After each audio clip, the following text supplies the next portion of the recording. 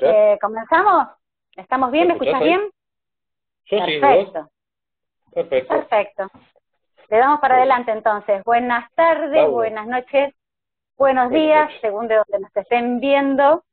Eh, mi nombre es Mariel Giordanino, eh, soy miembro de Familias Leonas TDH y estamos aquí nuevamente en el espacio adultos TDH con el señor Iván Scarlione. Que no te voy a decir bienvenido a Familias Leonas porque vos sos Familias Leonas. ¿Sí? ¿Es así? Sos Familias Leonas, sos el, eh, la pareja, el, el, marido, el, el, acompañante de nuestra querida fundadora Paula Fernández, papá del inspirador Donato, ni más ni menos. Exactamente, Donato Santino. Así es. Bueno, Iván, eh, qué gusto tenerte. Eh, vamos a empezar a charlar un poquito para conocerte. Dale. Dale. Bueno, yo quiero saber en primer lugar, ¿dónde naciste? ¿De dónde sos? Porque vos tenés un aire barrial. A ver si me... Eh, yo nacer nací en Córdoba, en un lugar que se llama Potrero de Garay. Mira, somos cordobeses. Exactamente. A 15 kilómetros de Fátima, sería eso. Ajá. Mira vos. Y a, los seis años, a los seis años me vine a vivir a San Martín, en Villalín. San Martín, el, acá, eh, ajá. San Martín, San Martín. Sí, partido 3 de febrero. Sí, sí, sí, conozco, conozco. Ahí me vine a vivir a los seis años, que mi viejo vendió un hotel que tenía en Córdoba porque mi abuela y mi vieja estaban muy separadas de la familia, entonces mi viejo decidió vender el hotel y compró la casa donde ahora vive mi hermano, que ahí vivía hasta los 17, sí, 17, 16, 17 años vivía ahí en esa casa. Después me fui, volví, me fui, volví, por ciertas cosas que pasaron. Bueno, pero digamos que digamos que te criaste en un barrio barrio. Imagino esos barrios que, que, conservan esas costumbres de, de salir a la vereda, eh, de ir a, a, las plazas a cualquier hora, de jugar los partiditos de fútbol en la calle, ¿no? Exacto, exacto. Claro, ahí un espacio más grande para liberar. Nosotros teníamos un lugar especial para ir a jugar a la pelota, que era un lugar que nosotros le decíamos la clínica, pero teníamos cuatro equipos de fútbol. O sea, ah, estábamos los que los que éramos los titulares, como quien diría, y después todos los que venían como invitados. Que eran un asilo de ancianos. era un asilo de ancianos y nos dejaban jugar en la parte de atrás en el parque, nos dejaban jugar a nosotros la pelota mientras nosotros cuidábamos el pasto, o sea, arreglábamos las plantas. Ah, Se portaban teniendo, bien. Teniendo 10, 12 años ya. Ahí. ¡Wow! ¡Qué responsabilidad! Es decir, que tenías un, un, tenías ese espacio para, para liberar estos síntomas del TDAH. Exactamente. No como ahora, viste que están como que medio más encerrados estos síntomas. Y sí, obvio, ahora sí están más encerrados. Aparte, yo creo que también una de las cosas que teníamos antes para poder liberar y canalizar el TDAH era, era poder salir claro. y hacer actividad física. Sí, estábamos más en movimiento, eh, sí, es verdad. Exactamente. O sea, por ahí yo era tan hiperactivo como Donato y yo jamás me di cuenta porque estaba todo el día chupado. O sea, iba a la mañana, a las 8 de la mañana, 7 de la mañana me levantaba para ir al colegio, iba al colegio, salía del colegio, llegaba a mi casa tipo 12 y media, comía, terminábamos de comer y era salir, ir a jugar a la pelota, esto, lo otro, volver a las 5 a tomar la leche, salir a las 5 de vuelta hasta las 7, 8 de la noche y después volver a casa a comer y ya irse a dormir. O sea, todo el día. que, claramente, aparte si quedaba algo ahí medio reprimido, eh, con alguna macana que, que, que, tal vez te mandaste, el viejo te pegaba cuatro gritos, te ponía en vereda nuevamente, a la cama y al día siguiente se, se empezaba nuevamente. obvio. obvio. Escúchame, Iván, ¿cómo, ¿cómo era en la escuela? ¡Oh, Dios mío! igual, igualito que o sea, eh, era el que se escapaba del aula, era el que... A ver, contame, contame, esa es la parte que más me gusta. O sea, escaparse del aula, la profesora se daba vuelta, estaba escribiendo en el pizarrón y yo desaparecía. Ni permiso pedía. Agarraba la puerta. No, ni permiso. Agarraba la puerta y me iba. Y me andaba buscando un poco el colegio. ¿Por qué hacías eso? qué sé yo, no sé, eran cosas que me agarraba, o sea, por ahí estaba reaburrido, o sea, para mí era aburrimiento. O sea, estar sentado en un lugar era aburrido. No, me imagino a la maestra escribiendo y vos que te fuiste. Sí, obvio. Y escaneó, y escaneó, y escaneó, y desapareció. Y ya, ya sabían a dónde iba a buscar. Pasa que el colegio también a donde yo fui, el primer colegio donde fui no, porque era un colegio de monjas, iban mis hermanos, iba yo, sí. Colegio religioso te tenían así. Para, para, ¿cuántos hermanos? ¿Cuántos hermanos en total ustedes? Tres. En total somos tres. Yo soy ¿Todos varones? Sí, todos varones. Tengo mi hermano más grande que se llama Walter, el hermano, mi hermano del medio que se llama Ariel, y yo. Entonces soy el más chico. Ay, mira. Tremenda escuela de monja. Escuela, escuela, sí, escuela de monja. Que ese fue primero, segundo, tercer, hasta tercer grado estuve ahí. Después ya. ¿Me echaron? No, no me echaron. No me echaron, no. a No, era. Quedaba más cerca de casa, o sea, yo yendo a cuarto grado, yo ya iba casi solo al colegio. Mirá. ¿Eh? Yo salía de mi casa, cruzaba, me cruzaba en la vereda, llegaba, o sea, a la otra vereda de la cuadra de mi casa, daba la vuelta, estaba el colegio. El colegio, un colegio de dos pisos con un parque gigante en el fondo, que tenías cancha de tenis, cancha de básquet, que era Qué responsabilidad. Qué responsabilidad. ¿En tu casa te dejaban? Eh, ¿Estaba planteado así? Eh, lo que pasa es que mi hermano qué te decía? Mi vieja no, mi vieja tranquila. A veces con la que iba más al colegio era con mi abuela. O sea, mi abuela me mm. crió de chiquitito porque mi vieja a los siete, sí, siete, ocho, a los ocho se fue. O sea, se separó de mi viejo, nosotros nos quedamos, los tres nos quedamos viviendo con mi viejo, y, mi vieja se fue. De un día para el otro así, es más, yo nunca supe cómo, cómo fue, qué pasó, qué dejó de pasar, porque en un momento mi vieja desapareció. Claro. o sea que te criaste de chiquitito con tu abuela. Mis abuelos y mi viejo. O sea, mis abuelos, mi abuelo falleció cuando yo tenía nueve, diez, once. Mi abuelo falleció cuando yo tenía once y bueno, después, al tiempo largo, falleció mi abuela. Pero siempre fue con mi viejo y mis abuelos. Escúchame, Iván, ¿y en, y en la escuela eh, no atribuían eh, tu conducta, a, estos desórdenes de conducta, a la situación familiar o te pasaban por alto? No, no, no a, veces, a veces sí.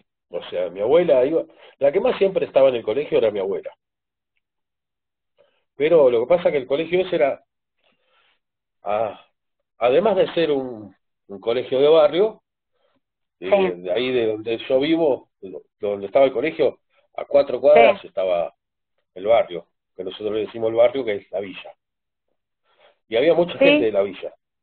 San Martín está rodeado de villas. Sí. Convengamos. ¿Sí? Para que se entienda. ¿Y qué pasa? Había problemas mayores con los demás que conmigo. ¿Entendés? O sea, había gente que tenía muchos más problemas de lo que yo tenía. Había uno que lo pasaba al viejo, el otro, eh, el hermano estaba preso, o esto, aquello. Eh, mis viejos se habían separado, nada más. O sea, claro, sí, sí, sí, En, ese, en ese momento la separación creo que fue más común que ahora, en el momento que se separaron mi viejo. creo que fue cuando creo que creo que fue en el momento que empezó el asunto de la separación que era que todo lo veían ah bueno se separaron bueno listo ya está se separaron pero ahora es, un tema común. Ahí sí, en ese momento tuve que ir a, a un psicólogo, a un psicólogo, ¿cómo es que se le dice? Sí, un psicólogo, el otro psicólogo, sí. para los nenes. Otro que ¿Psicopedagogo? no sé, sí, una psicopedagoga también. Y fuimos los tres, creo que habremos ido un mes, dos meses, y dejamos de ir porque estaba todo bien con nosotros. O sea, las cosas eran como que eran normales. Era un... Yo era el nene, ¿cómo te podía explicar? En el colegio me decían el nene problema, pero no era porque hacía, no era problemático en sí, se hacía quilombo, era el quilombero.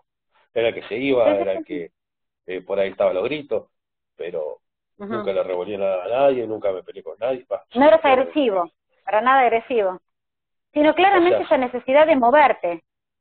Sí, sí, eso sí. Bien hiperactivo. Exacto. El, el famoso chico culo inquieto, me decía la, la, maestra. El culo inquieto está ahí. Pero siempre. Eh, El único el único grado que repetí fue justamente en el colegio de monjas, que me hicieron repetir tercer grado. Tercer grado me lo hicieron repetir porque supuestamente eh, yo estaba mal. Mm. Pero, a ver, con la mano en el corazón, ¿hacías algo? ¿Aprendías? Sí, yo aprendí en el colegio. Sí, sí, sí, o sea, yo era el chico que tenía la carpeta incompleta, sí. El que se tenía que poner durante 15 días después de clase a terminar la carpeta para poder presentar la carpeta, sí, tenés razón. Pero era el, típico cagón también de que tengo una prueba, tengo una prueba, me va a ir mal, me va a ir mal, me va a ir mal. Hacia la prueba me terminaba sacando 10. Bien. ¿Eh? O sea, yo pelota le daba a la maestra. Mm. Y, eh, agarraba las cosas en realidad que más me gustaban. Ciencias naturales, matemáticas, lengua la odiaba, inglés odiaba, eh, ¿qué más? Eh, historia me gustaba dentro de todo. Así que eran dos horas contra tres, contra cuatro. Entonces más o menos venía bien. Claro, sí, Como mi compañero, con mi compañero me llevaba bien porque éramos todos quilomberos. Claro, en esa época sí eso te iba a decir, que como que sí, se veía más el alboroto. O no molestaban tanto los chicos yo creo que no molestaban los chicos inquietos. Es como que las maestras consensuaban que el chico fuera inquieto. Si, el chico estaba quietito, tenía algún problema. Al revés de lo que es ahora, ¿viste? Bueno, es más, había uno, me acuerdo hasta el nombre, se llamaba Marcelo Dos Santos. Se sentaba en el último pupitre del aula, eh, atrás en un rincón. Eh, igual era el que se sabía todo, el que daba toda la lección, pero no, no te hablaba una sola vez en todo el día. Es más, en el recreo a veces lo veías, a veces no lo veías, porque por ahí se quedaba dentro del aula estudiando. Wow. Y después de años, años de haber terminado el colegio, todo, creo que hace cinco o seis años atrás lo vi, y el flaco está, viviendo en la calle. Que vos decís, un pibe que se la estudió toda, que se sabía todo, que esto, que lo otro, terminó en la calle, terminó siendo adicto. Hoy no te puedo O sea, yo creí que era una de las personas que iba a agarrar y bueno, iba a ser el mejor de todo y no terminó siendo, o sea, peor que una persona común. ¿Qué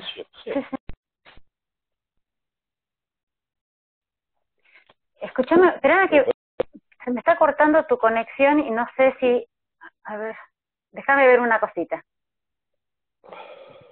A ver.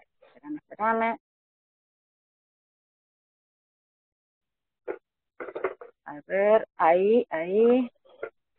¿Vos me ves bien a mí? Sí, yo te veo bien. Ahí, ahí se, ve mejor. corta, ahí se, se corta, no sé por qué. Bueno, le saqué mm, por las dudas el wifi, porque viste que a veces la señal de wifi anda... Sí, anda, media rara. La dejó con los datos y se terminó. Eh, ¿Qué te iba a decir, Iván? ¿Y em, escuela secundaria qué onda? ¿Cómo fue ahí? Y escuela secundaria, mira, yo empecé primer año justamente el, el número 5, que era la misma escuela donde yo iba a la mañana, a la tarde se había hecho secundario. Empecé y a los tres meses, tres, cuatro meses, cuatro meses mi viejo tiene un, un infarto, un preinfarto grande, y tuvo que dejar de laburar.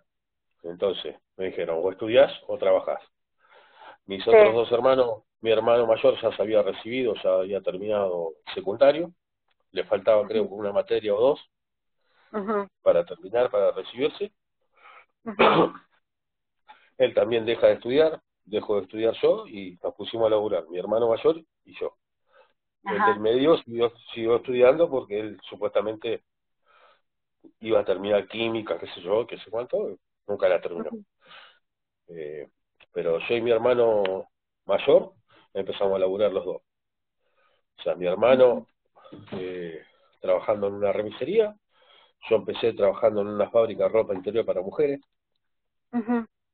Le empezaba a pegar las flores a, la, a las bombachas, en el medio de la bombacha. Yo era el que le pegaba las flores o el, que le hacía el atraque. Después de eso terminé siendo hasta... Artesano. Exacto. Como terminé siendo el... El creador de la ropa. El diseñador. Sí. Pasé por todo... En la fábrica de ropa interior pasé por todos los lugares. De, de, pegar la florcita, atracador. Súper talentoso, Iván.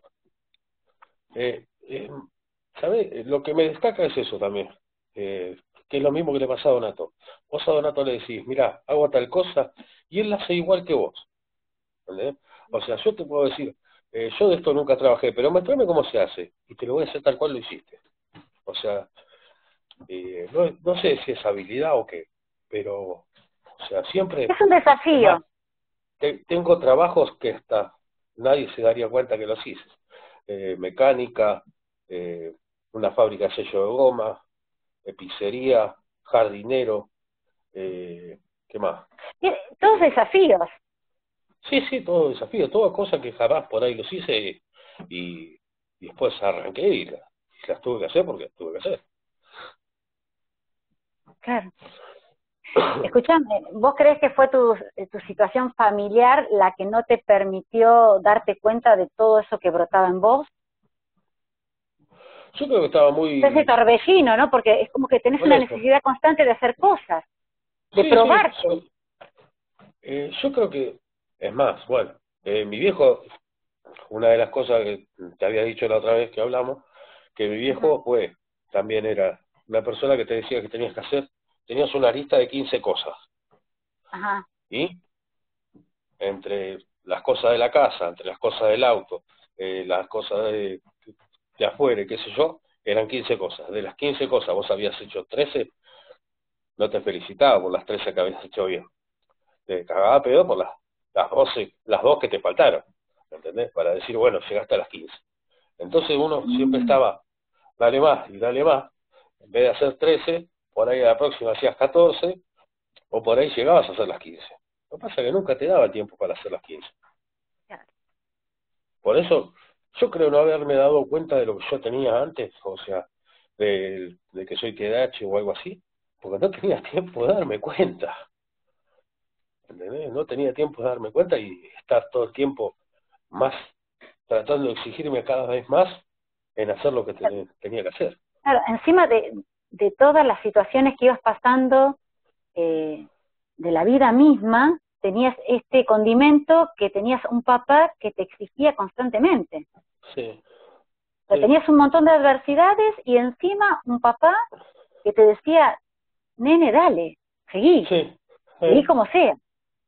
Sí, sí. Sí, sí, eso es cierto. O sea, no, mm, o sea... Vos lo hacías, lo hacías, perdón, vos lo hacías para demostrarle algo a tu papá o era parte de esa meta que vos te ponías ese desafío de superar, no, era por tu viejo, por no, defraudarlo a tu viejo, por contentarlo.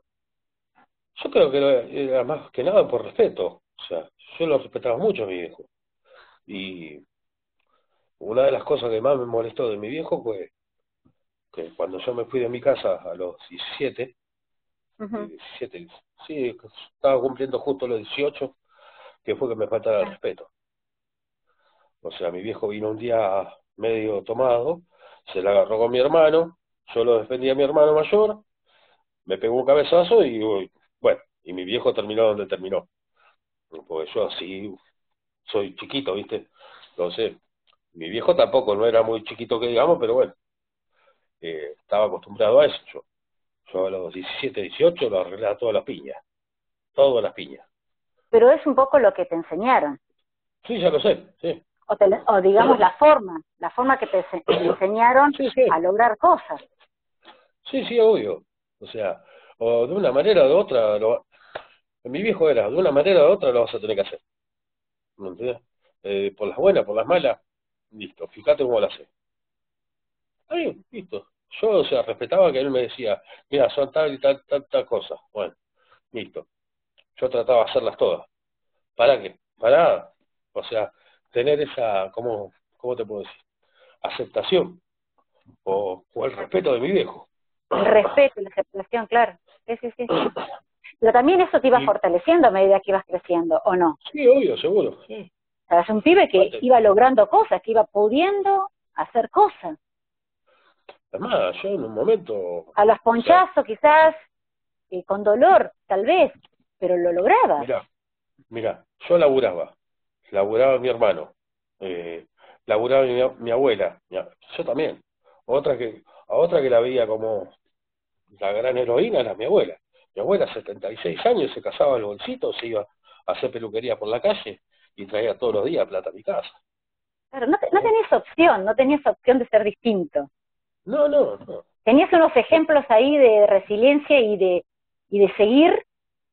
Mira, yo creo que mi, abuela, mi abuela era más, la más hiperactiva de todas. La más hiperactiva de todas era mi abuela.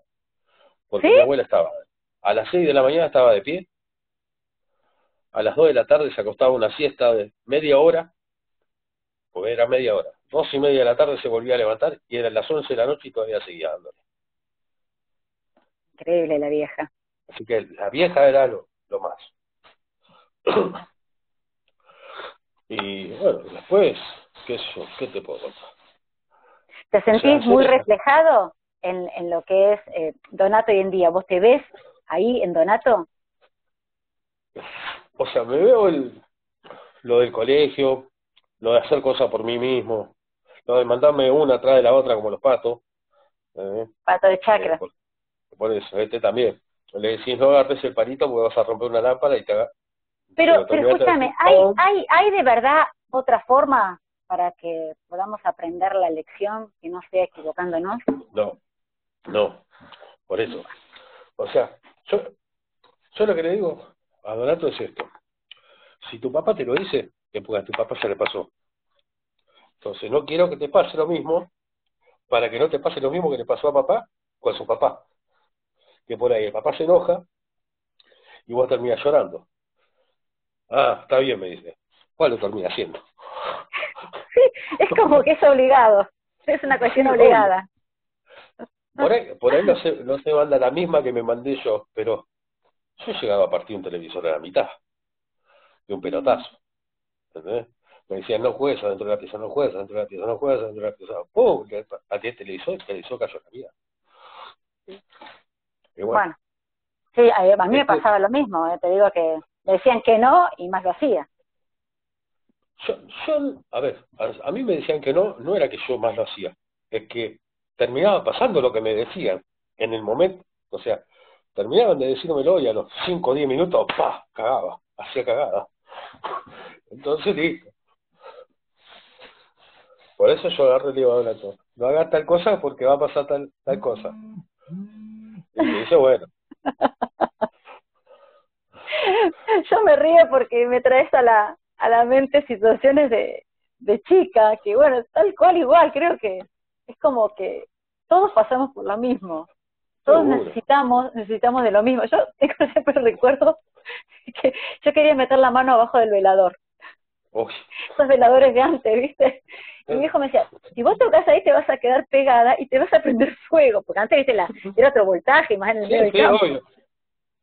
Bueno, una vez estábamos jugando a esconder algo, ¿te acuerdas? Es frío, caliente, tibio, bueno, caliente, caliente, y yo quería meter la mano y mi hermana me decía, no, ahí no. Y yo la metí, porque ya aparte yo la quería meter ahí. Era la oportunidad, era el permiso, ¿me entendés?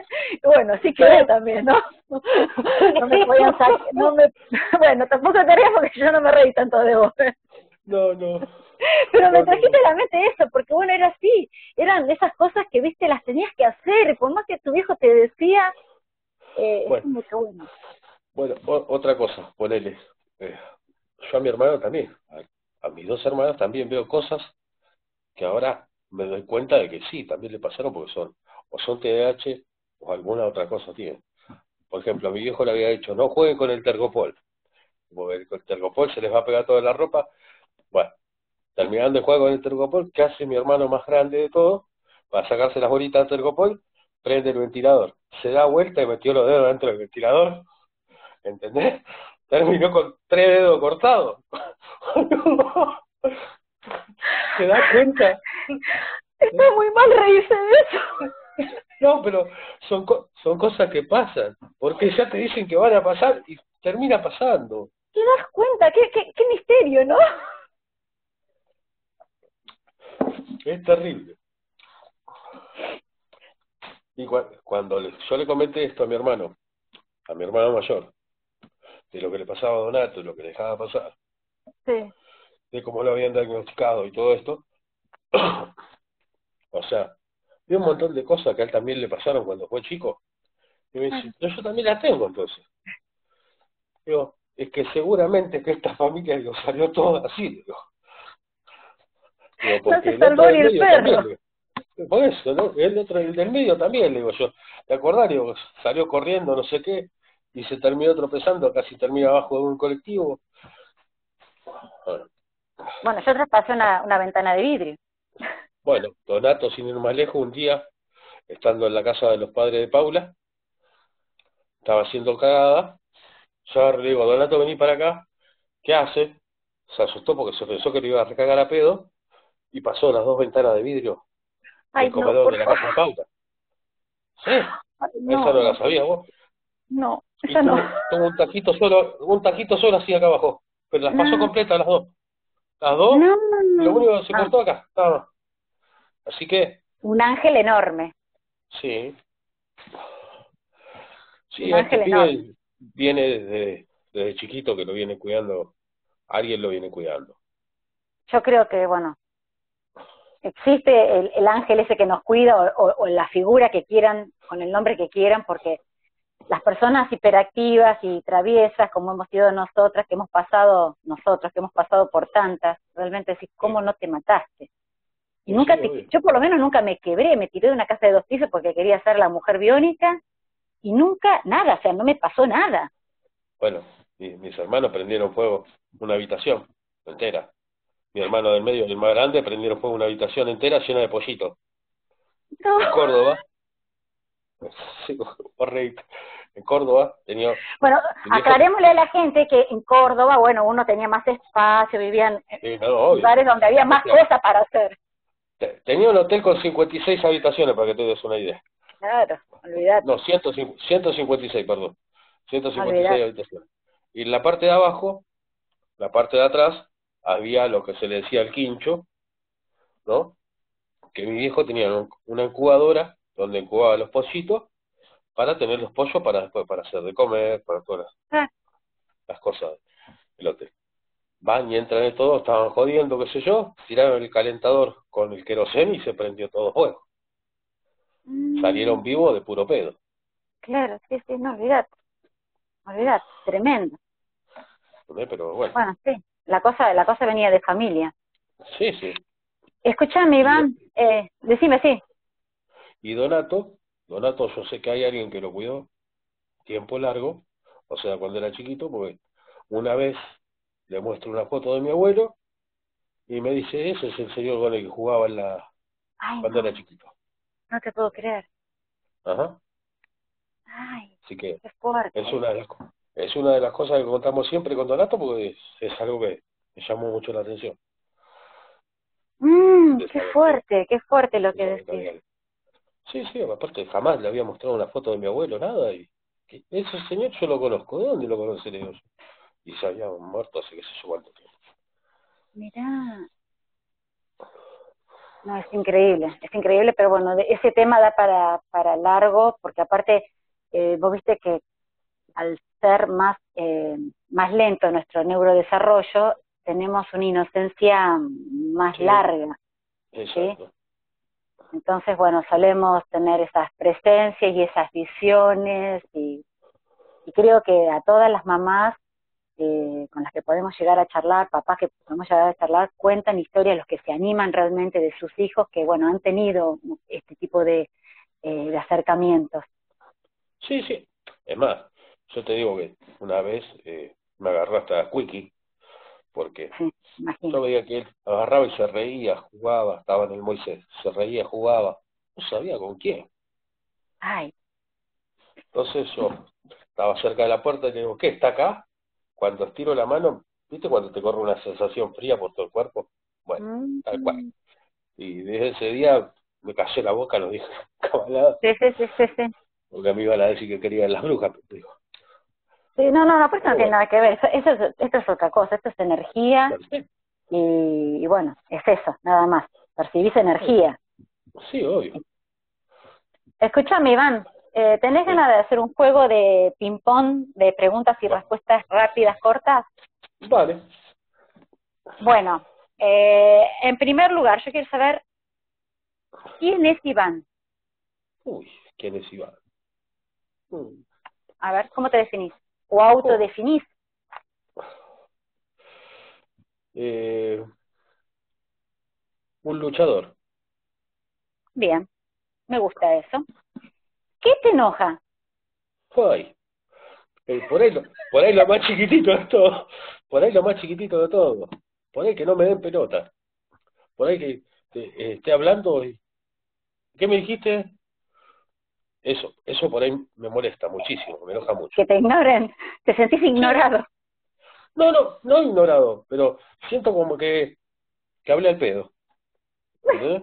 O sea, te estoy hablando y, ¿qué, ¿qué me dijiste? Y tengo que volver a explicarte todo. No, ya está. Eso te enoja. Bien. Eso me enoja. ¿Qué te calma? Un abrazo Donato un abrazo donato y santo remedio. ¿Borrón y cuenta nueva? Exacto, sí. O sea, como bajaron la cortina y salió el sol. Mágico. Exacto. Eh, ¿Qué no soportas? Uh. No. Hay muy pocas cosas que no soporte. O sea, soportar creo que con el lomo que tengo soporté bastante ya. O sea que no creo que haya... Hoy por hoy, hoy, por hoy digamos que no hay nada que... Que no pueda superar. Exacto, que no lo pueda superar, que no lo pueda acomodar Bueno, no por nada el viejo te decía que no tenías opción, ¿no? Exacto. Eh, ¿Qué te divierte, Iván? Ay, Dios. ¿Qué me divierte? ¿Sos divertido? Sí, soy divertido. Sí, soy Es más, soy más payaso que Donato a veces. A veces por ahí... Mira que yo lo conozco a Donato, ¿eh? Sí, sí. No, no, pero... Pasa que esta no... Paula no está nunca con la, con la cámara, pues si no, verías las payasas acá. la otra vez sin el manejo me aparecí con una capa. Parecía el príncipe. ¿La estabas seduciendo o la estabas encantando? ¿Cómo es eso? No, no, parecía ladino, tenía una capa azul.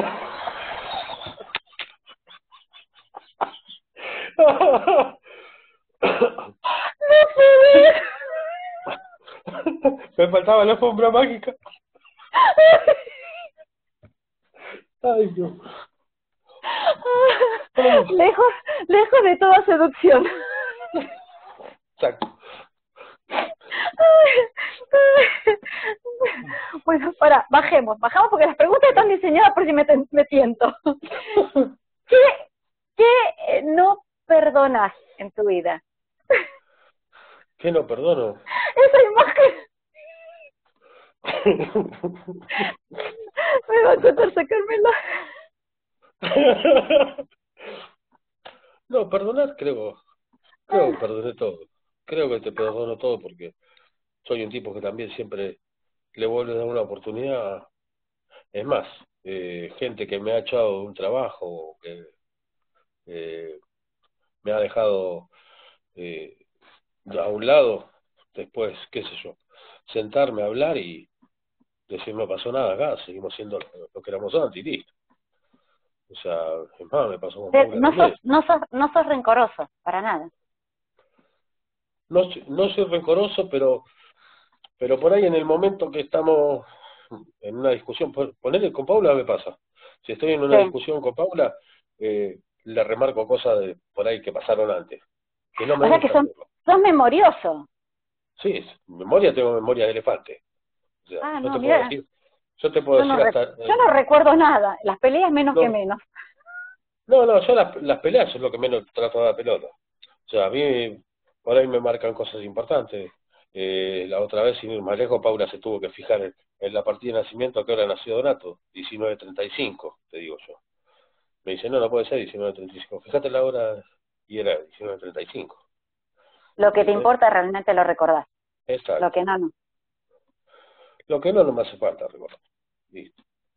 Es más, trato de borrarlo, pero hay veces que por ahí, cuando me enojo, me acuerdo justamente de las cosas malas por ahí.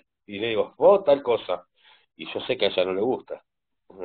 Y yo sé que lo hago después de que lo hago. Y la, y la conozco a Paula, ¿eh? y la conozco que es, es cero rencor ella. Sí, por eso. Pero por ahí yo hago cosas, ¿entendés? O le digo cosas cuando ella me hizo enojar, y yo sé que la termino lastimando, o que la, termino molestando. Y después me doy cuenta yo de lo que dice. ¿Pedís perdón? Sí, pido perdón, sí. Sí, soy el que más pide perdón. O sea, no es porque, no lo tenga que hacer seguido, pero, o sea, pero soy una persona que sí, sí. Se dio cuenta que tiene una equivocación, un error, soy el que pide perdón. ¿Te das cuenta con facilidad cuando el otro te lo marca o, o no? Si estoy, o sea, una vez que arranqué la motoneta, cuando tengo, que estoy enojado, yo le digo la motoneta. Una vez que estoy en la motoneta, si estoy arriba de la motoneta y me lo puedes hacer ver así, o sea, cara a cara, no te lo voy a reconocer porque estoy en caliente, no te lo voy a reconocer. Cuando me enfrío, que lo pensé dos minutos, que lo pensé dos segundos, voy y te pido perdón yo directamente, es que yo me equivoco. Y si me lo tuviste que hacer reconocer para hacérmelo ver, también te pido perdón. Es parte de la impulsividad y de la impulsividad que se supone que, que tenemos los adultos, ¿no?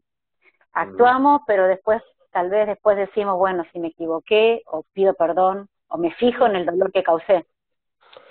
Exacto. En el momento es imposible ver el dolor del otro. Yo en el momento no. No en el momento no. En el momento no ves nada.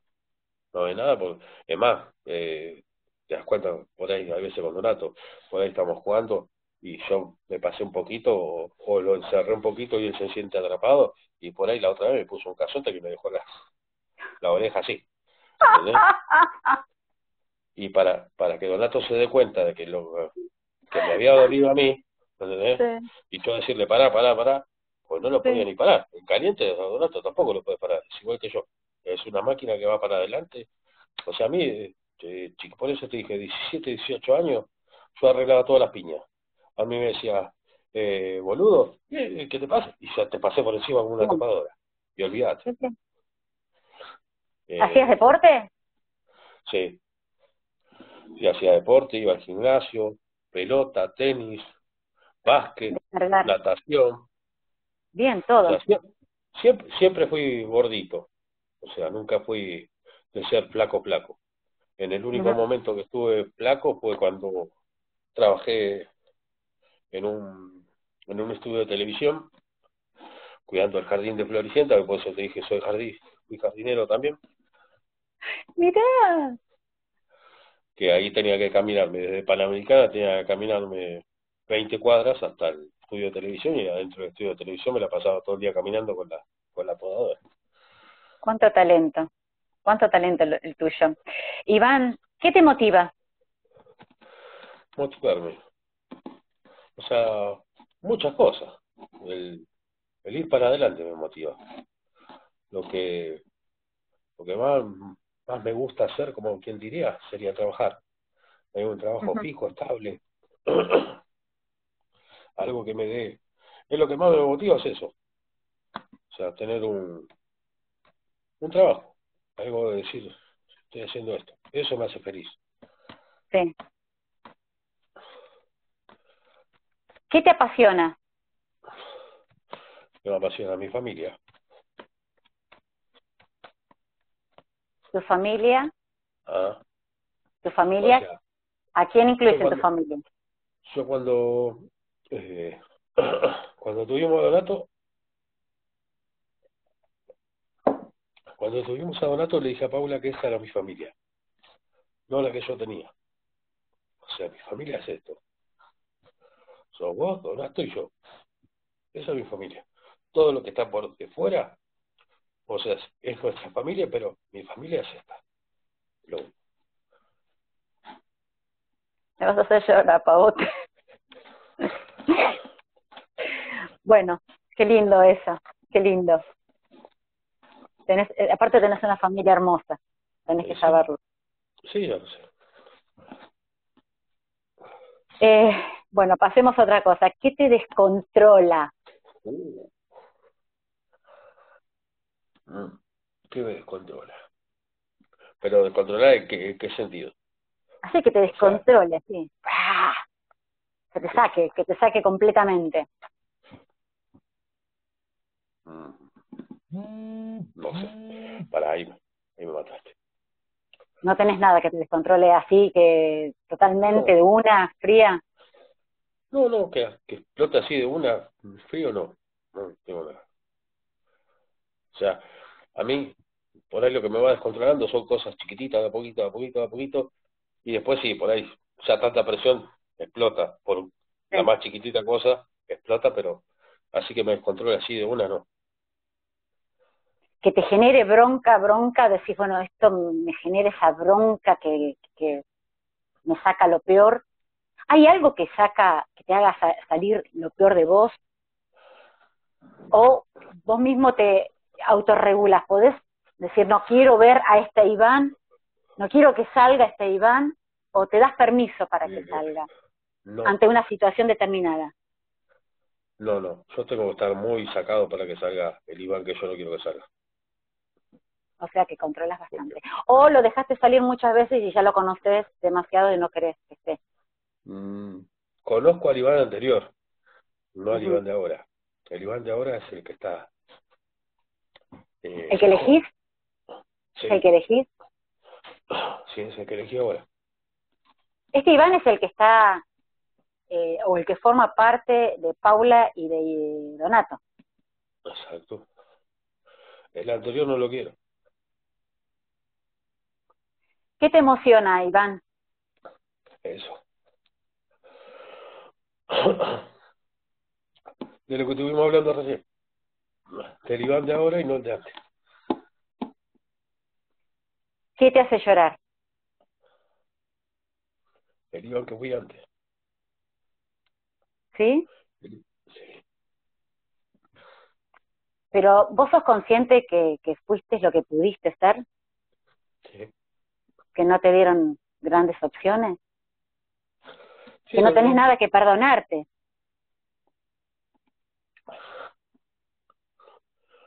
hay cosas igual que todavía no no se dijeron y, creo que esas no son para hablarlas por acá tampoco. bueno, perfecto. Cosas que hizo el Iván anterior, pero... Bueno, pero a ver, Iván, eh, con la vida que tuviste, con todo lo que te pasó, hiciste lo mejor que pudiste. Y si alguna cosa ahora no la ves bien, bueno, pero ya pasó. Y bueno, por eso. Yo creo que eh, uno a veces hace cosas que tienen que ver con una construcción. Y justamente con la construcción de la vida que deseamos tener. Creo que tenés que celebrar esta vida. O sea, pasaron todas esas cosas para llegar a tener esta vida, esta vida maravillosa con la cual te una, una de las cosas que más que más jugaron a mi, a mi favor, como quien diría, para, para hacer la construcción que hice yo en adelante después de esa persona, fueron mis amigos. ¿Tenés buenos amigos? Sí, tengo amigos de fierro. ¿Amigos de toda la vida? Sí. Tengo uno que... Eso, vos sabés que eso es grandioso, ¿no? El poder mantener las amistades me parece que es el desafío más valioso de la vida. Es más, son amigos, amigos, amigos de, de la infancia. Si son ocho, son muchos. Tengo mi mejor amigo que vivíamos a cuatro casas de diferencia. Mm. O sea, salíamos, yo salía del colegio, él salía del colegio, terminábamos de comer, nos juntábamos y era andar todo el día juntos. Y después, bueno, amigos que fue dando la vida eh, son los demás que vinieron, pero mi amigo Diego es mi mejor amigo. ¿Sí? Sí. De toda la vida. Con ese blanco. Ha estado en todas. ha estado en todas. O sea, con él pasé navidades, eh, cumpleaños. Pasaron una Navidad en, la casa de, de, mi mejor amigo. Mirá. Y no, en mi casa. Con mi familia. Mira vos. Qué suerte tener ese amigo, ¿no? ¿Ah? Que la vida te dio ese amigo. ¿Sí? ¿A la vida te lo dio o, o vos te lo ganaste, una de dos? Yo creo que lo ganamos mutuamente. Somos muy parecidos, el, el Diego y yo. Yo le digo así, el Diego y yo. Él me dice rey, me dice un montón de cosas. Pero para mí es, es el Diego. Qué lindo lo que me contás. Eh, ¿Qué te, te hace feliz? Bueno, me imagino que todo esto que tenga que ver con, con tu familia, con crecer, eh, con ver crecer a tu hijo tal vez. Sí, eso también me encanta. Me encanta mostrarle cosas, me encanta que cocine conmigo. ¿Te gusta cocinar, no es cierto? Eh, sí, a mí sí. He sabido, he sabido que, que sos un buen cocinero. o sea, una de las cosas que más me gustó de, de compartir con Donato fue irme a Mendoza cuando él estaba con los scouts. Eh, estaba con los scouts, yo fui de cocinero con los scouts y fue... No me dejaron interactuar como padre porque me cagaron a pedo todo el tiempo porque me dijeron, vos tenés que ser el cocinero y no el papá de Donato. me cagaron a pedo hasta el último de los dirigentes que había. Pero pero fue una de las experiencias mejores que pasé en mi vida. Y sí, claro. Mira, para que te hayan cagado a pedo, los has vuelto loco. Olvídate. Eso. Sí, sí, no, no. Es más, yo por ahí estar en, la cocina, salirme de la cocina, porque lo veo que se estaba mandando una cagada. No, no, acá él viene a aprender. Vos, vos sos el cocinero y nada más. Me para, o sea, me vieron que salgo de la cocina, que me voy para el lado donde estaba Donato, me agarra uno de los dirigentes y me dice, no, no, no sos el papá, dice, acaso sos el cocinero, andate de vuelta para allá porque si se está mandando una cagada tiene que aprender solo. Listo, tuve que cerrar la boca. Sí. Y listo. Ay Dios, qué fuerte. Iván, ¿qué te enamora? ¿Qué me enamora? Mi familia, de vuelta también. Eh, la pasión que te genera esa pasión de la vida. Ajá. ¿Tu familia? Sí. Sí, mi familia. La mejor dupla, eh, Paula y Donato. Sí, la mejor dupla. Los dos hacen tu equilibrio. Exacto, sí. Eh, Donato los equilibra a mí y a Paula, mejor dicho. ¿Sí? Sí. Hay, ha habido veces que por ahí estamos teniendo un roce con Paula y viene Donato eh, se dejan de pelear y nosotros dos quedamos duros, estáticos, por ahí no nos estábamos peleando, estábamos, estábamos teniendo un roce, pero no estábamos peleando. ¿Qué, qué, Se dejan de pelear, ¿qué pasó? ¿Cuándo, ¿Cuándo se enteró este de que lo estábamos hablando nosotros? está todo el Diego, está todo el Diego en el oído parado, ¿viste? ¿Tu hijo te enseña? Sí, sí, sí. Me ha enseñado eh, técnicas de relajación, serio. También que le han enseñado en lo de celeste por ahí. Sí. O sea, eh, me ha enseñado a reflexionar también conmigo mismo, que una, es una de las cosas que le enseñó Celeste es eh, que le hace pensar o le hace tratar de pensar tres soluciones diferentes, que eso también me lo había hecho una psicóloga una vez y también lo hice. Eso. Que por ahí, para algo que tenés o algo que tenés una duda con una persona o tuviste una discusión, en vez de agarrar y contestarle lo primero que te sale por la boca, que es por ahí decir alguna cosa que no le va a gustar al otro. Un improperio que ponele. Exacto. Es pensar tres cosas diferentes que puedes contestar. Plan A, B y C. Exacto. Y Donato me lo hizo recordar últimamente y viene funcionando hasta ahora. ¿Te viene funcionando? Sí, sí. O sea, estoy mucho, es más, bajé mucho, el le saqué mucho el pedal al acelerador. Antes iba a fondo, o sea, por ahí me decía, tengo que trabajar. Y trabajaba todo el día, ponerle hasta las 8 de la noche. Y llegaba y seguía por ahí en la cocina, porque por ahí no estaba la comida, qué sé yo, y ya empezaba a arrancar la motoneta y no me daba cuenta yo. Ajá. Entonces agarré, estoy más relajado ahora. No puedo hacerlo, hago, no lo puedo hacer, listo, ya está. Veré cómo lo Estás, estás en una etapa de disfrute entonces, porque cuando uno, cuando uno baja tiene esa, ese privilegio de poder disfrutar de todas estas cositas pequeñas que suceden a nuestro alrededor. De repente de compartir, como vos decís, el hecho de cocinar algo con tu hijo. Exacto. Sí. O de, preparar un jugo, qué sé yo, cualquier cosa. O de verlo cómo, cómo hace café. Ahora está, está con que sabe hacer café solo y va y hace café cada rato. Hace café, café, café. ¿Te, gusta verlo, observarlo? Sí, obvio. Está buenísimo. O sea, lo, lo, único lo único que me da quickie todavía en la cocina es cuando estoy haciendo algo frito. Ah, bueno. Sé, que el aceite, sé que el aceite no te perdona. No, total. Sí, sí, sí, sí. Hago lo mismo con Gabriel, digo, no te, no te acerques. O cuando vengo de, de las compras, viste que ahora tenemos que desinfectar todo, no te acerques a la bolsa de los mandados. no, no te acerques al aceite. O, o por ahí, o, o tener que decirle a Donato por ahí cuando vengo, vine a hacer un laburo o algo, que él viene siempre a, darte un abrazo, para, para, para. y tenés que limpiarte todo y se queda esperándote así con los brazos abiertos, viste, cuando terminás de hacer todo bien y te abraza. Pero eso... sí.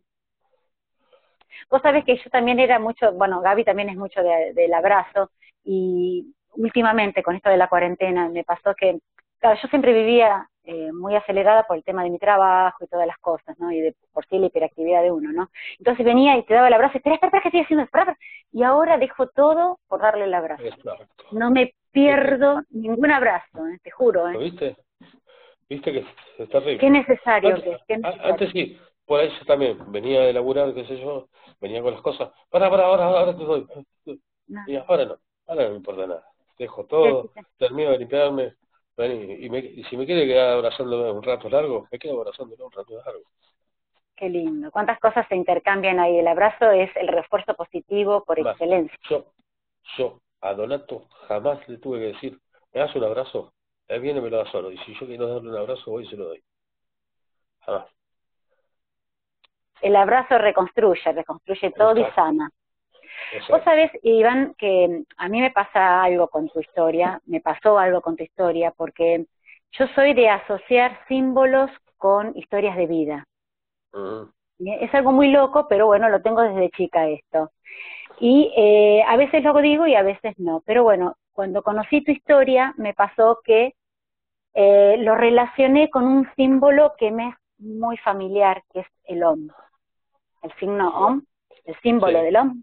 ¿Sí? ¿Lo conoces? Bueno. Que aparte, bueno, en, mi caso es conocido porque, bueno, trabajo con eso, entonces me resultó muy fácil poder asociar tu vida a lo que significa el OM.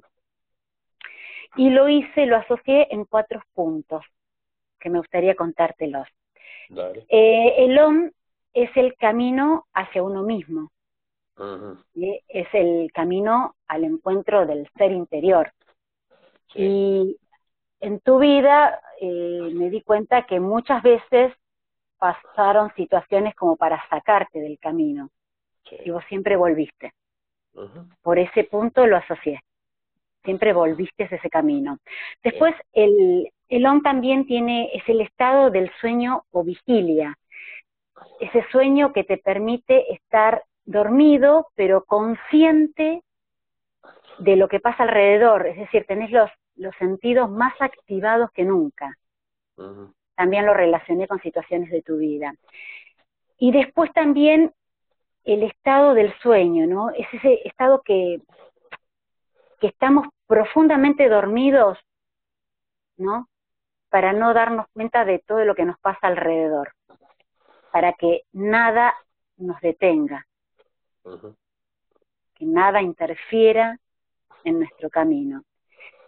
Y también lo asocié con el estado de, de ignorancia, ignorar lo que realmente somos,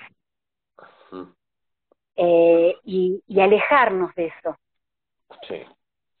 Eh, de lo que en realidad somos, ¿no? Y, bueno, y la verdad es que me di cuenta que por todo esto vos sos un tipo que, que sabe lo que pesa el dolor. Por eso elige seguir luchando. ¿Me equivoco en algo de esto? Eso? No, en nada. Bueno. Es así, tenés un caparazón. Es como te dije la otra vez, eh, soy una tortuga. Tengo caparazón, pero por adentro soy blandito. Sabés lo que es el dolor, por eso seguís luchando. Exactamente. No tenés que, que mirar para atrás. Eh, se va a cortar, ya nos están avisando. Iván, gracias por brindarnos todo esto y gracias por darme esta posibilidad. Dale, gracias a vos. Te quiero, Iván.